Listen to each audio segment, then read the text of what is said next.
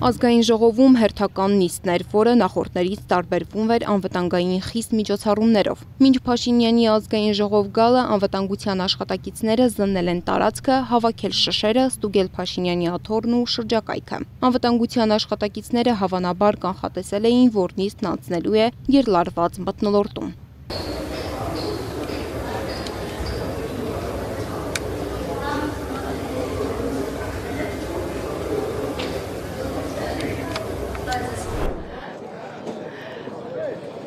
Մինչ ազգային ժողովի մոտ բողոքի ակցիա էր ընթանում, Փաշինյանն Ալեն Սիմոնյանի հետ զբոսնում էր այգում ու զրուցում լրագրողների հետ, պնդելով, որ որևէ քաղաքացու հետ շփումից չի խուսափում։ Հայաստանի Հանրապետության ժողովուրդը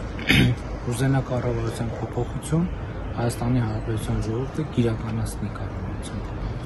2019 թվականին Արցախը Հայաստանը եւ վերջ հայտարարող Փաշինյանն ազգային ժողովում ափերից դուրս էր եկել ու հակառակն էր գոռում պնդելով, որ դեռ 2018-ին պիտի Արցախն ադրբեջանական համարեր։ Հետո էլ խոսելով հապկի մասին հայտարարել էր, որ դուրս կգան կառույցից։ Մեղավորը նրանք են,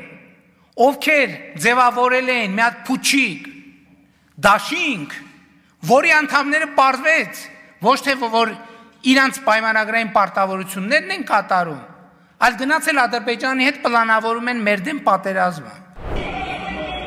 Ազգային ժողովի դահլիճում ԿՊԱ-ական падգամավորները քաշքշում էին ընդդիմադիրներին, իսկ խորհրդարանի պատերից դուրս հասարակական կարգի պահպանելուն կոչված ոստիկանները ծեծի են ենթարկում Genesis Armenia ուղղային կենտրոն հիմնադրամի տնօրեն քաղաքական գիտությունների տեխնացու Աբ รา համ Գասպարյանին ու Բերման ենթարկում նրան։ Բռնի ուժի կիրառման բազմաթիվ քաղաքացիներ են բերման ենթարկվել ոստիկանների ու քաղաքացիների բախումից տուժել են նաև ABC մեդիայի լրագրող Նանե Հայրապետյանն ու օպերատոր Արման Ղարիբյանը։ Ավելի ուշ մի քանի տասնյակ ուսարձայնային նռնակներ են կիրառվել ցուցարարների նկատմամբ դրանց կիրառումից տուժել են նաև ABC մեդիայի լրագրող Աղվան Ասոյանն ու օպերատոր Էդիկ Մալաքյանը։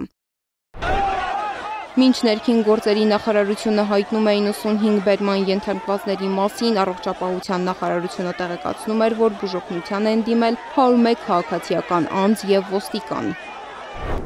Բախումից հետո Տավուշահանուն հայրենիքի շարժման անդամները գնացել են կառավարության շենք եւ վերադարձել Բաղրամյան պողոտա ամփոփելու օրը։ Ապա Բագրատ Սրբազանը այցելել է ոստիկանական անհամաչափ գործողություններից տուժած քաղաքացիներին։